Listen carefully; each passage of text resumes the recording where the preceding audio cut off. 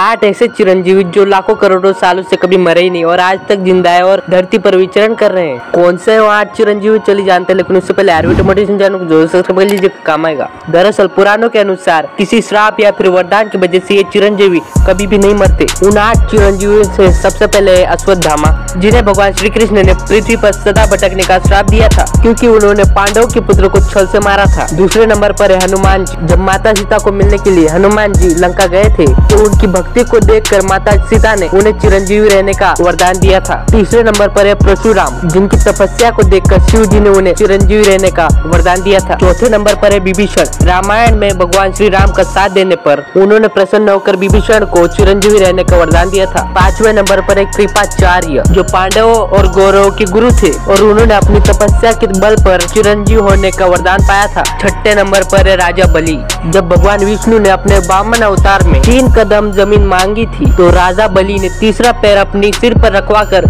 उसे भी दान में दे दिया था, जिससे प्रसन्न होकर भगवान विष्णु ने राजा बलि को चिरंजीव रहने का वरदान दिया था। सातवें नंबर पर वेद व्यास, चार वेदों और अठारह पुराणों की निर्माण करने वाले वेद व्यास भी चिरंजीवी है। और आठवें नंबर पर आते हैं मार्कंडे ऋषि, जिन्होंने शिव जी की तपस्या से यम को भी खाली हाथ भेज दिया था, जिसके बाद भगवान शिव ने उन्हें चिरंजीव रहने का वरदान दिया था। वैसे गाइस क्या आप इससे पहले आठ चिरंजीवियों के बारे में जानते थे? और आपका सबसे पसंदीदा चिरंजीवी कौन सा? कमेंट सेक्शन में ज़रूर